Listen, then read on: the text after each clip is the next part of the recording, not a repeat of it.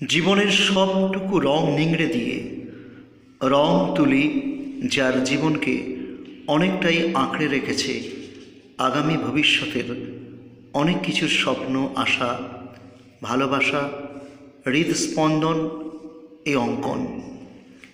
অঙ্কন এমনই একটা বিষয় যা হৃদয়কে আচ্ছন্ন রেখেছে চব্বিশ ঘণ্টার ঘুমের সময়টুকু বাদ দিয়ে। তাও বোধ হয় ঘুমের সময়টুকু অনেকটা কেড়ে নিয়েছে এমন স্বপ্ন হরিণী, অঙ্কন। এরকম একটা রং তুলির প্রসিদ্ধ শিল্পী, চিত্রশিল্পী, তপন প্রামাণিক। কলকাতার বেহালার তার শিলপাড়া এই বিশেষ একটি শিল্পাগারে এসে আপনাদের সঙ্গে পরিচয় করাবো। শ্রদ্ধেয় তপন প্রামাণিক, আন্তর্জাতিক খ্যাতিসম্পন্ন চিত্রশিল্পী। তার তুলির টানে এবং রঙের অপরূপ বর্ণ ছটায় সমগ্র দেশ বিদেশ আজ আকৃষ্ট। অসংখ্য তারই প্রশিক্ষণপ্রাপ্ত ছাত্রছাত্রী তারাও কিন্তু কম যায় না। কথায় বলে গুরুর থেকে গুরুর থেকে শিষ্য বা শিষ্যারা কোনো কিছুতেই কম নয়। অনেক জায়গায় তার আর্ট এক্সিবিশনের পিকচার কেনাকাটার জন্য হুড়ুহুড়ি পড়ে যায়। দেশের বাইরেও তার যথেষ্ট নাম। এবার সরাসরি চলে যাই সেই আন্তর্জাতিক খ্যাতিসম্পন্ন চিত্রশিল্পী শ্রী তপন প্রামাণিকের কাছে। তপনদা এই যে আপনার এত সুন্দর পেন্টিং আমরা দেখছি আচ্ছা আপনি কত বছর ধরে এই অঙ্কন শিল্পটাকে আঁকড়ে রয়েছেন। প্রথমেই বলি, ছবি তো আজ থেকে আঁকছি না। যবে থেকে ছোট থেকে স্কুলের কাজকর্ম থেকে শুরু করা হয়, নানান ধরনের কার্টুন অনেক ধরনের শিল্পীদের কিছু ছবি দেখে দেখে আশেপাশে কিছু জায়গাতে যখন সবাই মিলে কম্পিটিশানে সিটান্ডতে বসে সেই সব জায়গা দেখতে দেখতে আমার মধ্যে একটা প্রেরণা তৈরি হয় যে আমিও একসময় ছবি আঁকবো আমিও এরকম একটা কোনো আর্ট কম্পিটিশানে বসবো এবং কিছু কার্টুনিস্টদের কিছু কাজ থেকে আমি খুব নিজের মধ্যে অনেক উৎসাহিত হয়েছি যেমন নারায়ণ দেবনাথের নন্টে ফন্টে দেখে। আচ্ছা আপনি কোনো আর্ট কলেজ থেকে পড়াশুনো করেছেন? হ্যাঁ আমি আপনার ছবি আঁকার আর্ট কাজে পুরোপুরি আমি কমপ্লিট করার আগেই আমি বিশেষ কিছু শিল্পীর সান্নিধ্যে যেতে পেরেছি এবং তাদের কাছ থেকে আমি যে কাজটুকু দেখতে পেরেছি তাতে আর্ট কলেজে থেকে যারা শিখেছি তার থেকেও বেশি শিখেছি আমি তাদের সান্নিধ্যে। তারা কারা তাদের মধ্যে আছে আপনার রামানন্দ বন্দ্যোপাধ্যায় রয়েছে তারপর আছে মিলন সরকার আছে অজয় সিনহা আছে এছাড়াও রয়েছে নিরঞ্জন প্রধান আচ্ছা আপনি তো আর্ট এক্সিবিশন করেন। আপনি আমাদের কলকাতার ভিতরে বা কলকাতার বাইরে কোথায় কোথায় আর্ট এক্সিবিশন করতে? কলকাতার মধ্যে একাডেমি অফ ফাইন আর্টসে গ্রুপ করেছি বিড়লা একাডেমিতে গ্রুপ করেছি গ্যালারি গোল্ডে করেছি আলতামিরা আর্ট গ্যালারিতে করেছি আপনার ইমামি চিজেলে করেছি এবং দিল্লি ললিত কলা একাডেমিতে করেছি দিল্লি আর্টিজেন আর্ট গ্যালারি করেছি এছাড়াও হাসকাস ভিলেজ এরকম প্রচুর অসংখ্য জায়গাতে আপনি দেশের বাইরে কোথায় এছাড়া বাংলাদেশে কাজ করেছি। বাংলাদেশে কোথায়? বাংলাদেশের বিশ্ব সাহিত্য কেন্দ্রে আমি সতেরোটা দেশের আর্টিস্টদের কাজ নিয়ে আমারই এক বন্ধু যারা বাংলাদেশে রয়েছে তাদের সাথে একসঙ্গে হাতে হাত মিলিয়ে যৌথ উদ্যোগে আমি ইন্দো বাংলাদেশ নিয়ে কাজ করেছি। একবার না দু দুবার কাজ করেছি। ঢাকাতে? ঢাকাতে বিশ্ব আচ্ছা এই যে দু হাজার কুড়ি সালের আজ ফেব্রুয়ারি মাসের একটা প্রায় প্রান্তিক মুহূর্ত আগামী কাল তো একুশে ফেব্রুয়ারি। ভাষা শহীদদের উদ্দেশ্যে কোনো পেন্টিং আপনার কাছে? না আমি আহ, এ তো অনবরত থাকি এবং এটা নিয়ে আমাদের কোনো এ নেই যে রং তুলির মাধ্যমে যে কোনো সময় আমরা এই মনের ভাষাকে আমাদের ছবির মাধ্যমে আনতেই পারি। আচ্ছা কিন্তু আপনি তো দুর্গাপুজোয় বড় বড় থিমগুলো করে থাকেন আপনার নাম যথেষ্ট রয়েছে।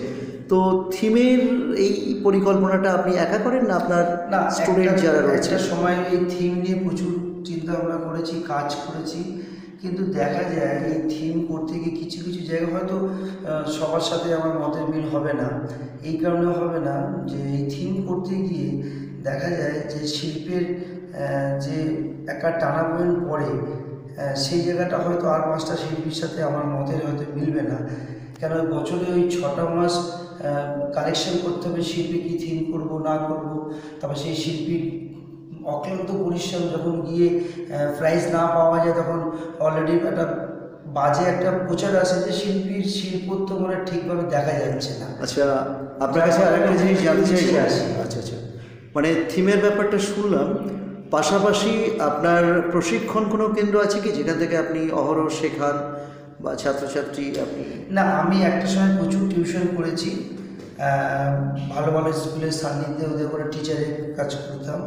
কিন্তু আমি অনেক বছর ধরে এই শিল্পী চেতনাতে ঘা লাগছে বলে, যার ফলে আমি প্রাইভেট টিউশনটাকে পুরোপুরি অফ করে দিই। একটা সময় এসে এখন মনে হয়েছে আমি তো যা শিখেছি আমার গুরুজির মারফতে এবং যারা আরও আমার সান্নিধ্যে আছে তাদের মারফতে, যেসব আমি শিক্ষা নিয়েছি কেননা এইটাই আমি আরও বেশ কিছু নতুন প্রজন্মের শিল্পীদের কিছু আমি আমার তরফ থেকে তাদের সেই শিক্ষাটা দিতে চাই। যতটুকু আমি শিখেছি। আচ্ছা আচ্ছা। আপনার কাছে শেষ প্রশ্ন।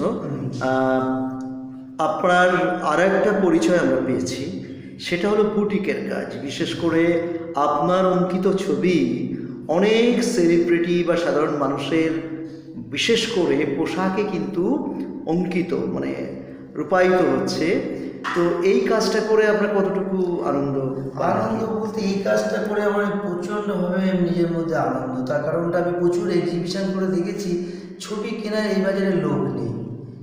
ছবি দেখে বাহবা দেওয়ার লোক প্রচুর আছে। ছবির সামনে দাঁড়িয়ে শিল্পীর সাথে ছবি তোলার প্রচুর আমি ব্যক্তিকে দেখেছি। কিন্তু ছবি একটা কিনে সে যে দামি হোক না কেন কোনো শিল্পীর মধ্যে সেই ভালো লাগাটা দেওয়ার মতন মানুষ খুব কম আছে।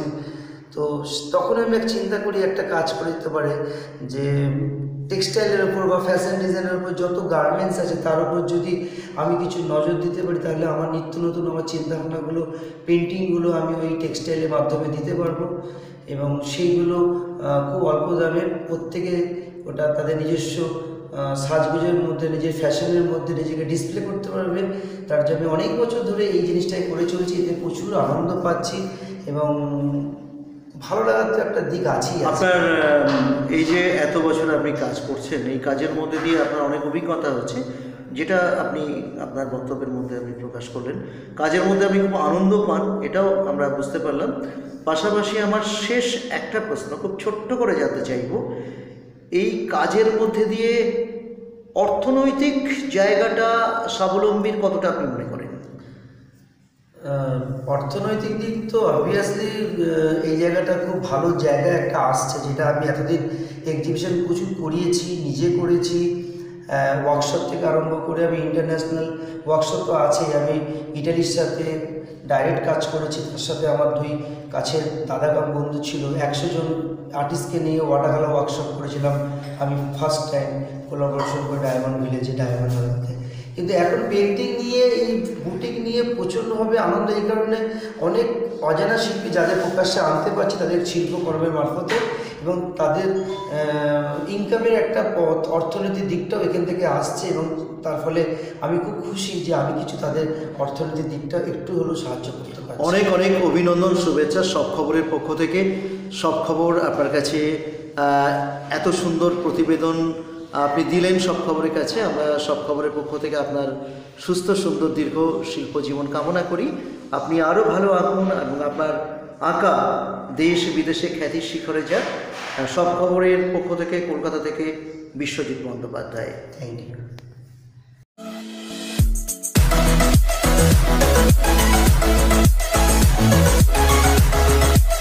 Thank